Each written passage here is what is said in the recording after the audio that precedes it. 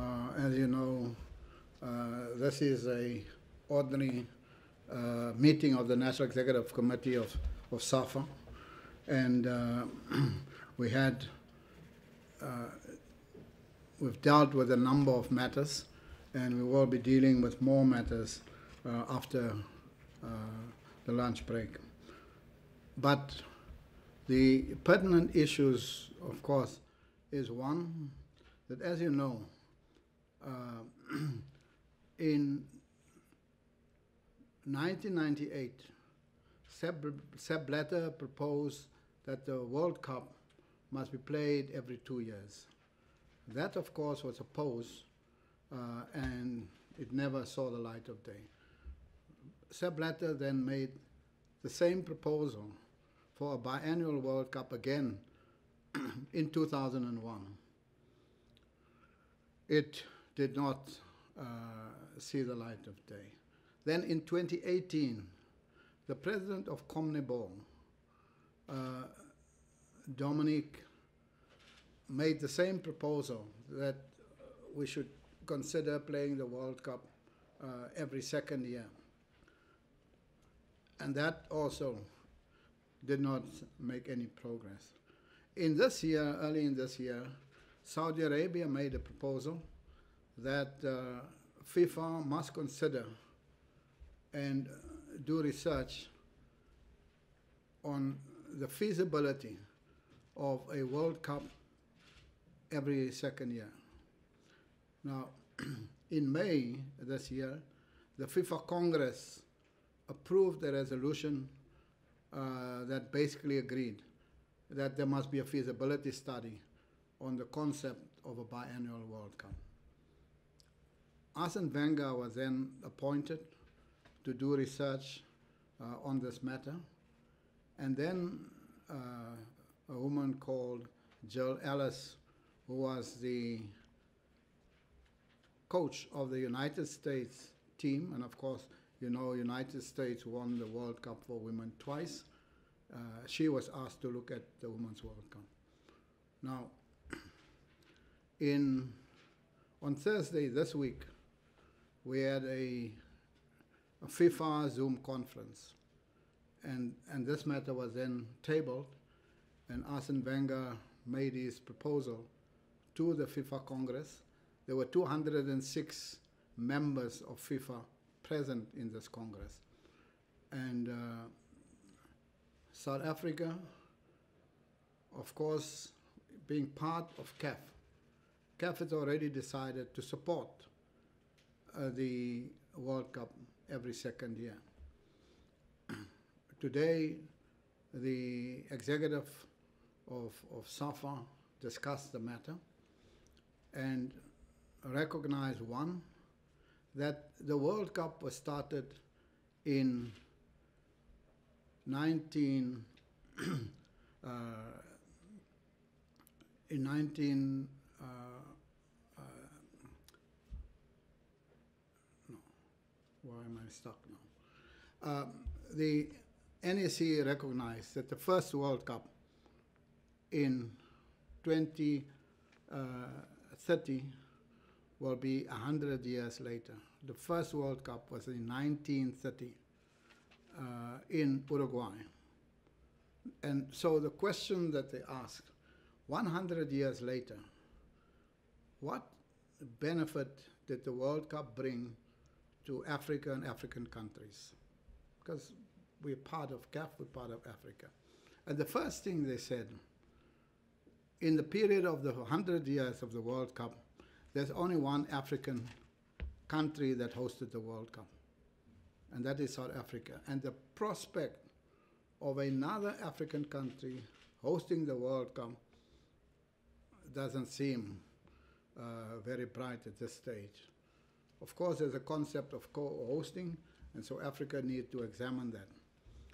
The second thing is that in the 100 years of this World Cup, Africa never won the World Cup. No African team made it to the semi-final of the World Cup. No African team uh, over the last hundred years uh, has gone beyond the quarterfinals.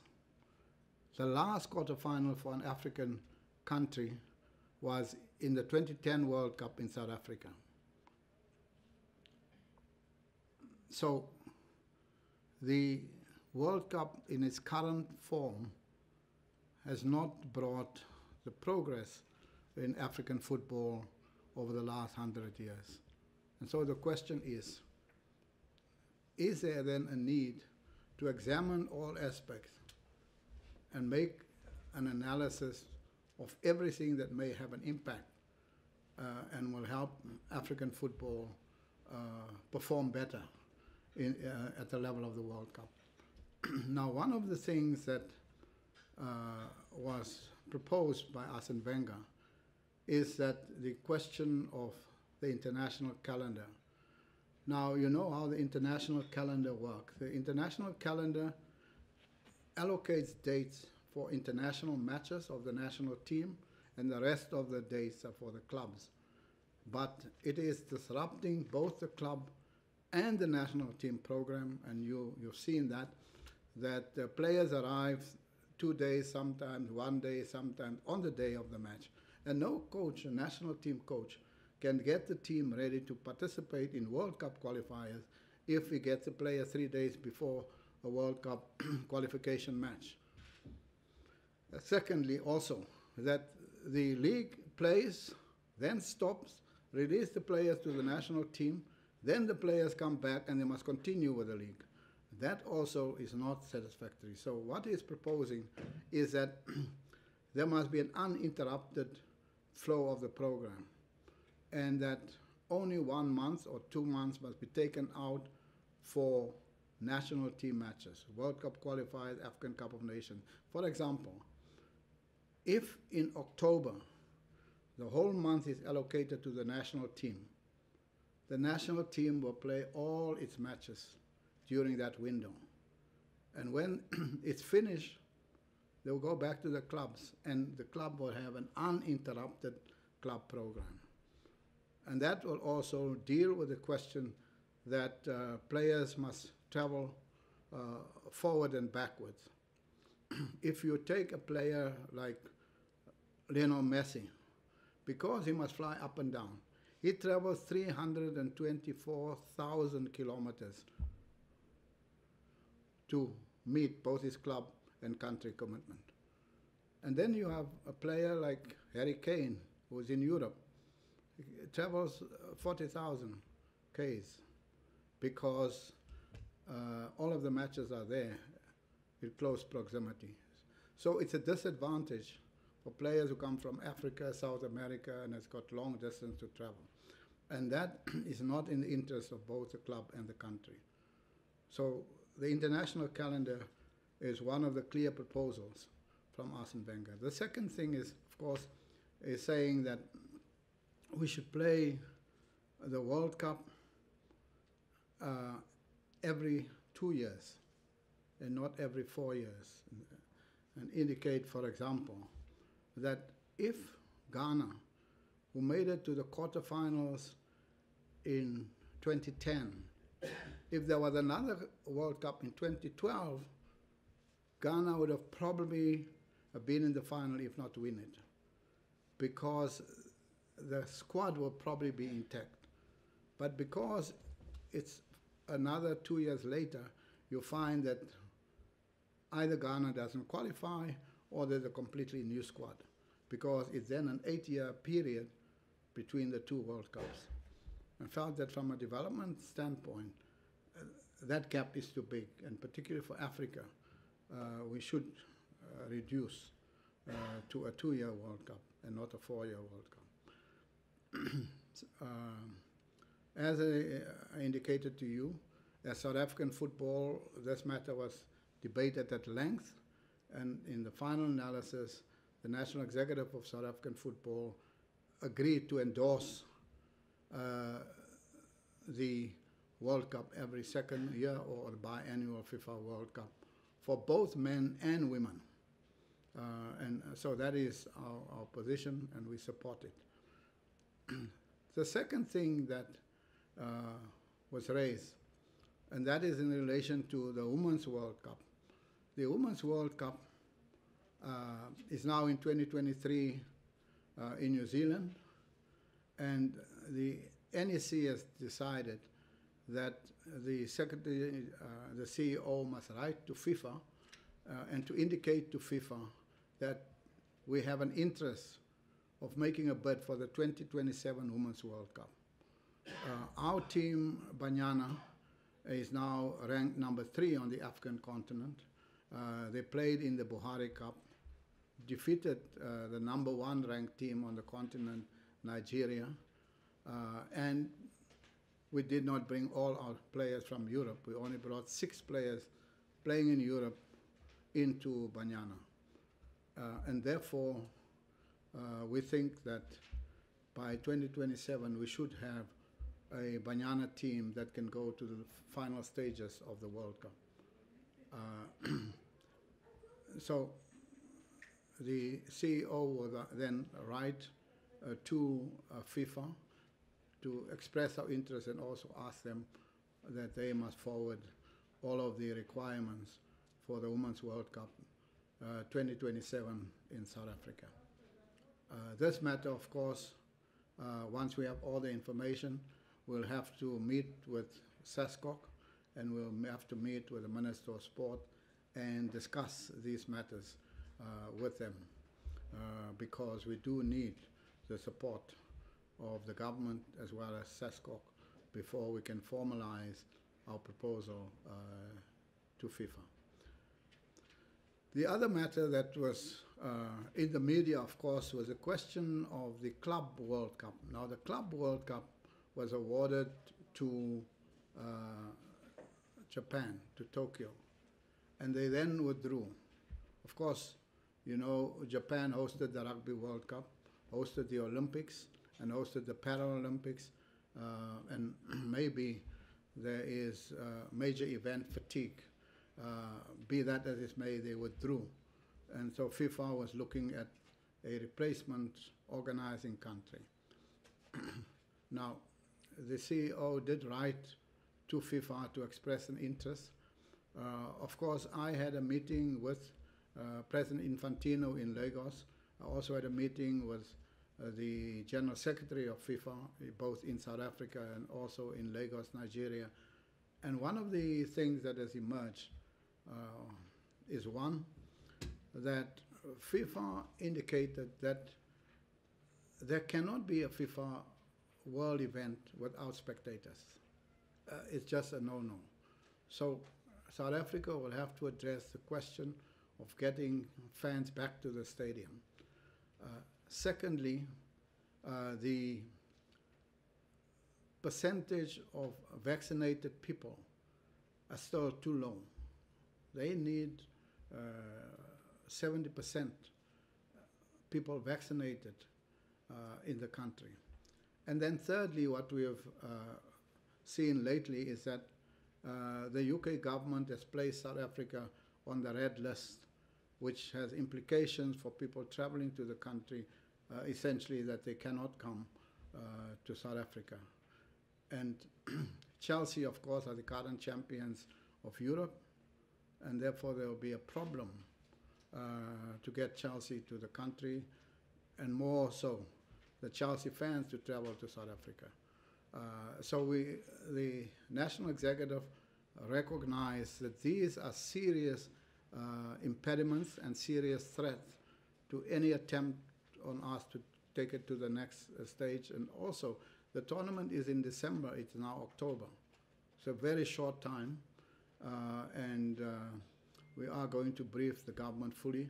Uh, the prospect of South Africa proceeding with the attempt uh, to bring the Club World Cup, I think, is in serious jeopardy.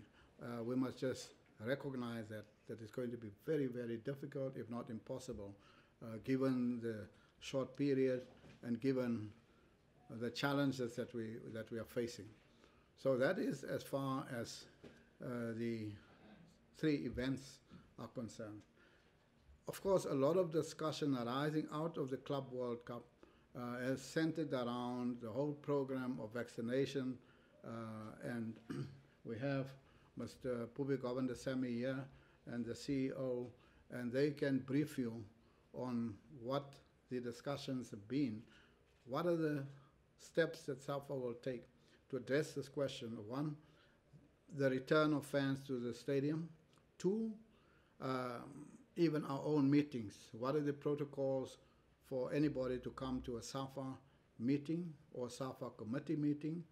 Uh, four, we also recognize that uh, it's important to bring the fans back because there's a whole economy around uh, that match and people in the stadium. One, the taxis transport the fans to and from uh, the game. And so if there are no fans, there's no business for the taxi industry. Uh, so we have to try and restore and revive the economy around football.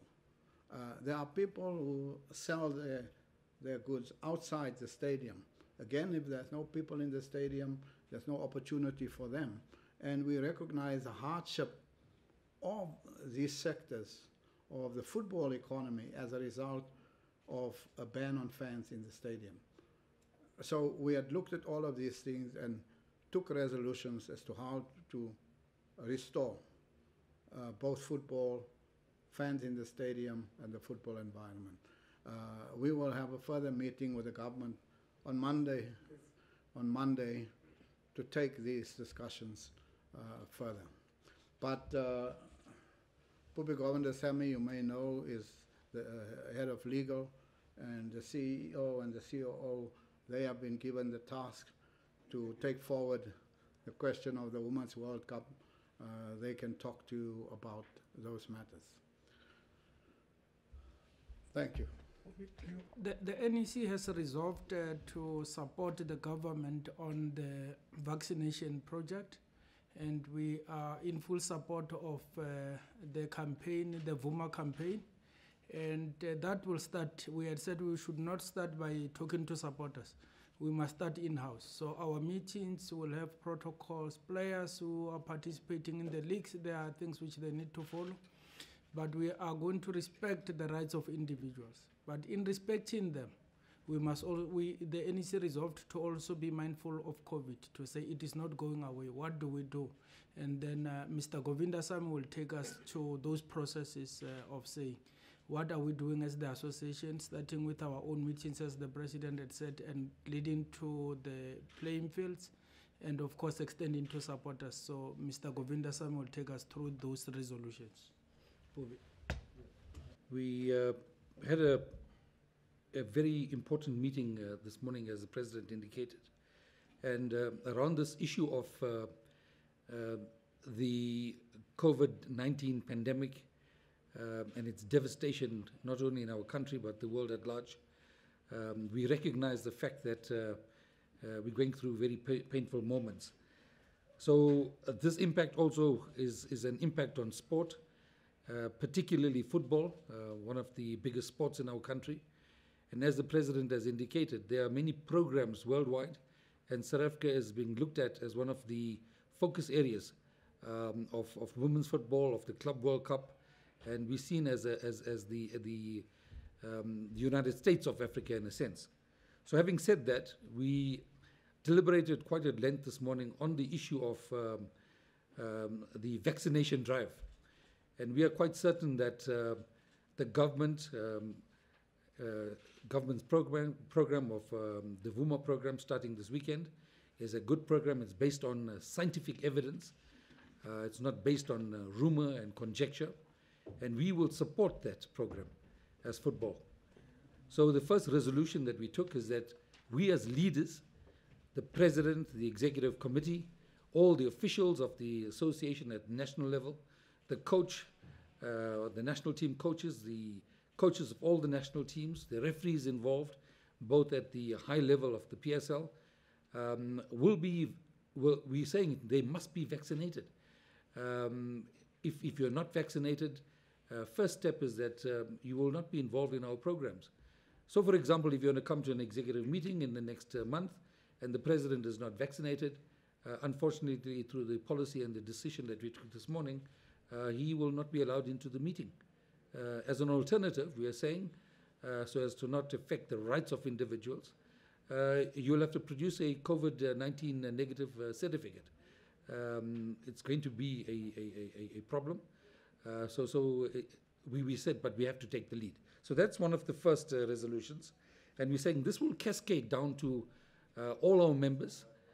we understand that the PSL has also taken the lead and it's also um, insisted on the vaccination program whereby its clubs and players will be vaccinated.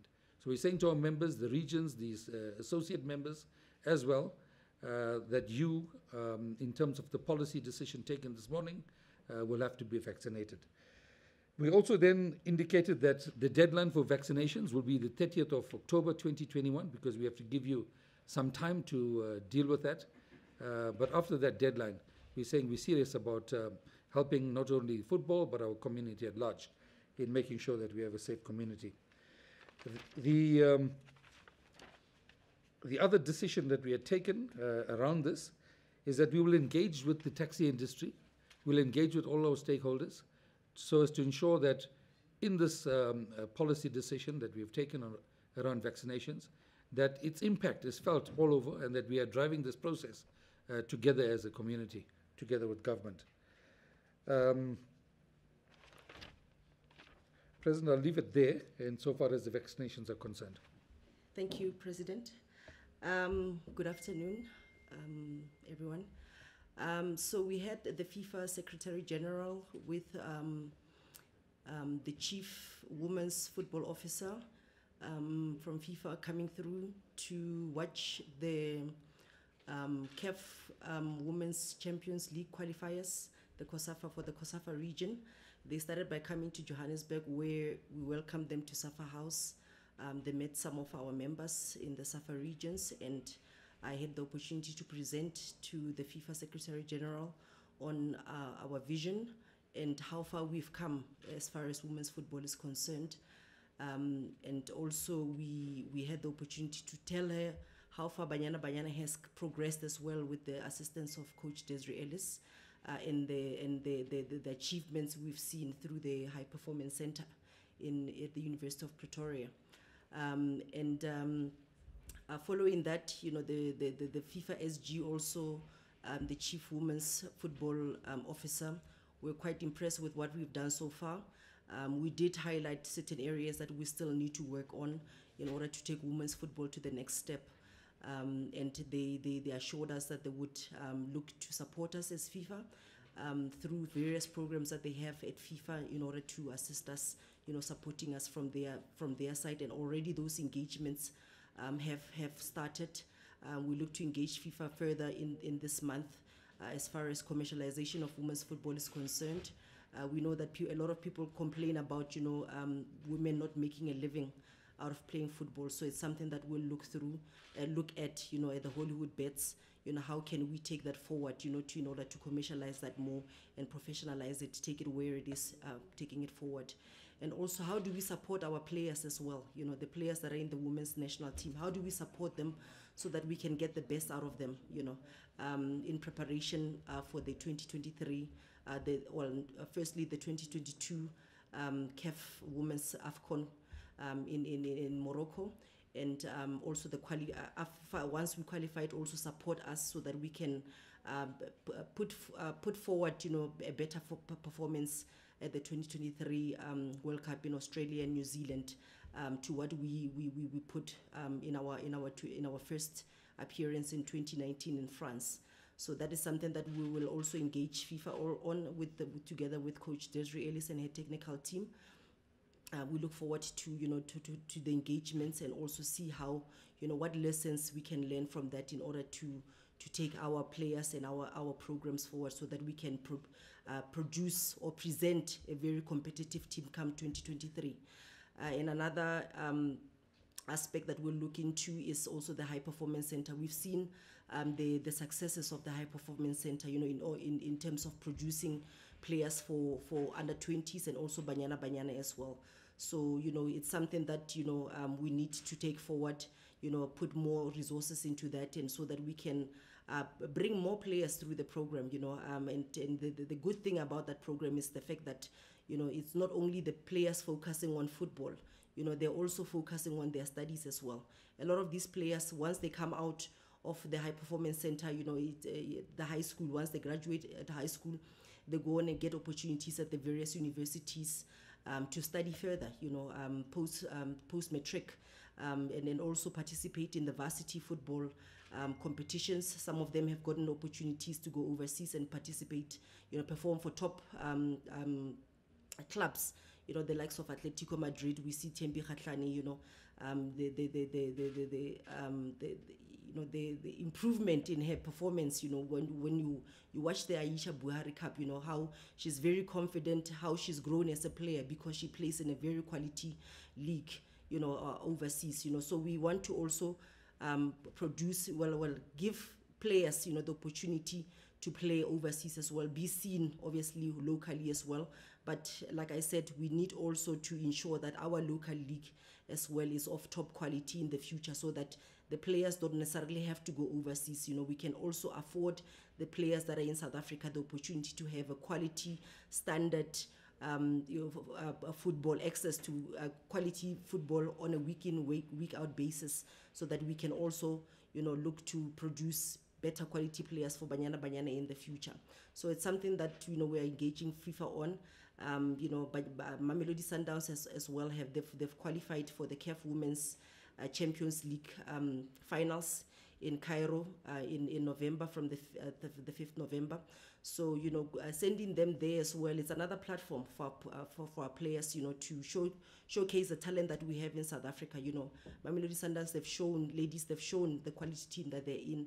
You know, playing in the Hollywood. Um, um, um, league and also coming from the Sasol League as well, you know, graduating into the, the National Women's League. So we want more teams, we want to group more teams to get into that uh, level, you know, to get on that level of Mamelodi Sundown so that in the future, you know, we can also send more teams, you know, to, to compete on that on that level as well. So, but uh, like I said, it's also about strengthening, you know, the football in the country, you know, ensuring that, you know, on a week in, week, uh, week out basis, you know, we provide our ladies with quality football that they've got access to, um, so that you know they can you can improve in their performances as well for which will will will reciprocate into the national teams as well. So. All, in all, you know, the FIFA SG was really impressed with us, but where we, we did indicate that we're not perfect, we did we do have um, room for improvements. They've shown a commitment and committed to assisting us in taking women's football, um, you know, further. And we we did allow them, you know, the opportunity to see um, some of the stadia that we have in the country. Um, you know, the Cape Town Stadium, you know, in, in Durban as well, we, show, we showed them some of the, the stadia that we have. They did come, you know, to Johannesburg where we showed them the FNB Stadium as well, so so that they can see the kind of venues that we have, you know, uh, come 2027 when, you know, if everything goes well, you know, um, our bid um, uh, uh, works out and we get the, the government's backing, you know, in order to host the, the, the first to uh, Women's Football World Cup in, in South Africa so that they can see that we've got the venues, we've got the stadium, we've got the infrastructure, you know, present to host such quality tournaments, you know, in, in the country. So it's, it's, it's, that's, that's the summary for us. But we do have all it takes, you know, you know, to host such, um, such quality tournaments. So um, it's just for us to put our hands up and say we are, you know, are ready for this. We are committed. We want to, to take the next step forward. I think just uh, the last thing which uh, we must talk about is uh, on the commercial space. We met with Hollywoodbets, as you know, that our relationship was for a year. We have, in principle, agreed on renewal, which uh, will talk more of the details. We have also, in principle, agreed with Sasol on renewal. We will invite you soon to talk about the details of Sasol renewal, but that has been agreed in principle. So that's the last things uh, I wanted to talk to you about. Uh, thanks. Bafana Ethiopia and the fence. Oh, the fans for the next Ethiopia. We are meeting with the, the minister, the Minister of Health on Monday to discuss exactly those details because we do need the Department of Health to verify if a person claim he's been vaccinated, they will be able to verify. And once the verification verification process is complete, they'll get the ticket to go to the stadium. Uh, we want the fans back in the stadium. Uh, it's now 10 matches that Bafana played without the fans, and Bafana did not lose in any of those matches. Uh, so we want them back. Uh, and we did speak to some of the fans who were there at the launch with the minister, and they were very excited. They want to get back uh, in the stadium. But the detail we'll discuss with the minister on Monday, and we will then uh, have a press conference. We have a press conference after. Yes. We're having a press conference after to give the detail of where they collect the ticket, what is the process, uh, and that's on Monday.